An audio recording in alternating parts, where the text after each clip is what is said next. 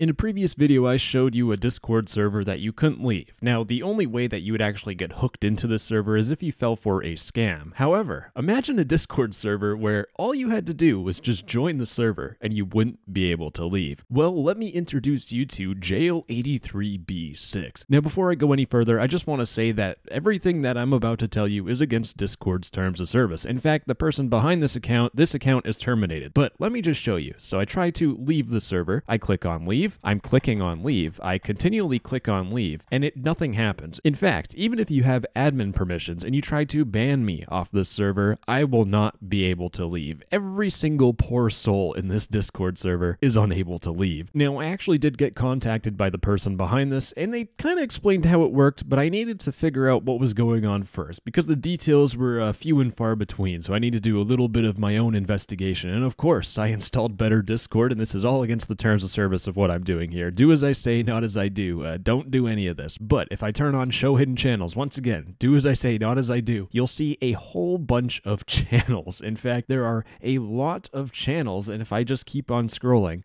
it, it just doesn't stop at this point. Even if I zoom all the way out in Discord, there's still a lot of scrolling. And once again, I'm zoomed in, so it's a little bit different, but there are a lot of channels. And when I click on this channel, but when I click on this channel, you might notice there's something a little wrong with it. In fact, the, the, guidelines of the channel is just a whole bunch of stuff. And in fact, if I, once again, using Better Discord, this, this stuff ain't a lot. If I right click on a channel and I click on permissions, you'll see that there's even more stuff going on. In fact, the channel name is just all this stuff, the same stuff repeated. And this is because there's some sort of cool uh, character UTF thing. I'm not going to get too technical because I know half of you don't really entirely care. We only care about the stuff that stupid people like myself can see. But as you can tell, everyone can't see this channel. But we have this role called AAAAAA just spammed all the way across, and it also has a whole bunch of permissions that it can't do. In fact, there are a whole bunch of this AAA role scroll. As you can see, I keep on scrolling, and it's just like there's so many of the same role, and they don't have permissions. In fact, this is for every single channel. And what is going on here is basically the server is being rate limited. When you do things on the internet like Discord, you know, if you send a message, if you keep spamming a whole bunch of messages, Discord will tell you, whoa, stop spamming for a second. And that's because you are being rate limited. You're only allowed to do a certain amount of things within a specific period of time. So this server is basically being spammed. It, it gets spammed and it just can't do anything anymore. And that's why you can't really leave the server because when you try to leave, that's like sending a message. It's sending a message to Discord, but since the server's being rate limited, you can't do that. Now, your inevitable next question is, how do I do this?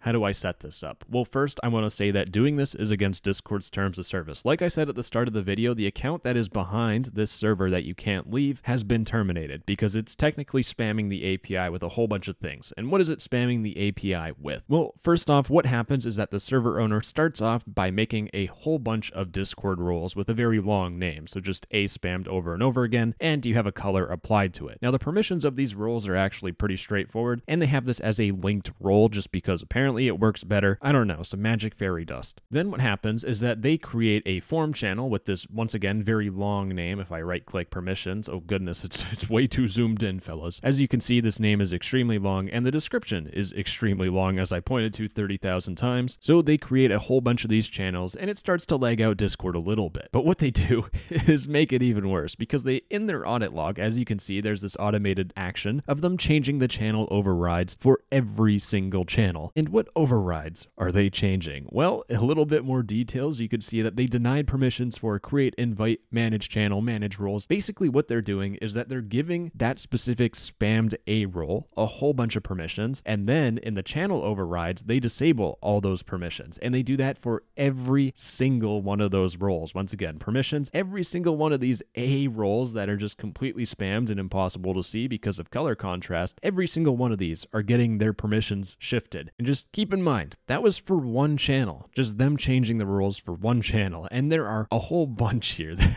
Once again, there is an absolute boatload of these channels. So at some point, Discord's little API limits and their whole coding system's going to see this. And they're like, this server's asking for way too much. We got to stop them from doing all this stuff. So they will rate limit the server. And like I said before, when it's rate limited, you cannot leave. And just to show you that I'm not messing with you, right? What I did is I basically just copied the invite. So I right click, invite people, copy the invite, and then I'm in a kind of different Discord account, right? I'm going to add a server. I'm going to join a server. I'm going to join the server that I just got the invite link from, join server. And guess what? Oh, I got to check if I'm human again. There we go.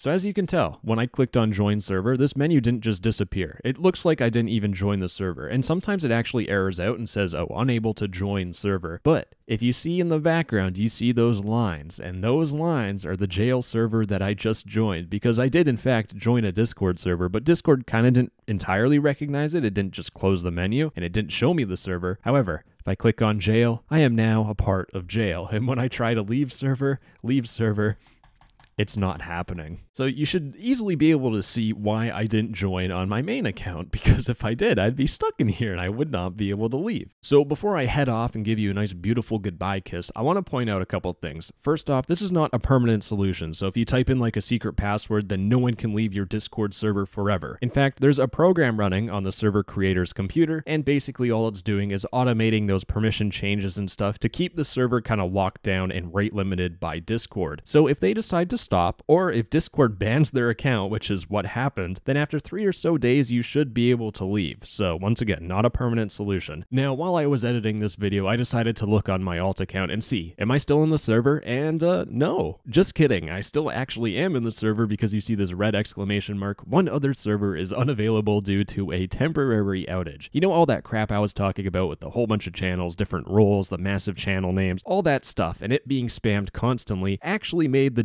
Discord server crash. And now you might think I am free from the jail server. But no, in fact, I am actually not. I cannot leave the server. I can't just right click it and leave. I can right click any other server and leave. But since the server is down, I am now 100% unable to leave it unless the whole entire server gets terminated by Discord. And the thing is, is that this will remain for four days apparently. That's what I heard from the person that made this, that if they keep on spamming it, the server will crash and you won't be able to leave for four days before Discord will reboot the server and then from there they have to run their little script so that you still cannot leave. And another weird thing that just completely blows my mind. I mean, I would consider myself educated. I went to college, and this still doesn't make any gosh darn sense because apparently, if a whole bunch of people join the server, then sometimes a couple people can leave. So I don't know. Maybe it's a corrupt jail or something. I, I don't know what's going on. I, I would like explain it to you if I could, but I just have no idea. This is well beyond anything my brain could possibly comprehend. Anyways, chances are when this video gets uploaded, this server will not exist anymore because once again, the server owner's account got disabled by Discord. It got terminated. So this whole entire server will be gone. And the thing is, is that this is kind of like, it's funny, you know, you can't leave a Discord server, but Discord will probably patch it because they have to watch my videos. I feel really bad for you guys. I'm sorry. Anyways, bye bye. I love you.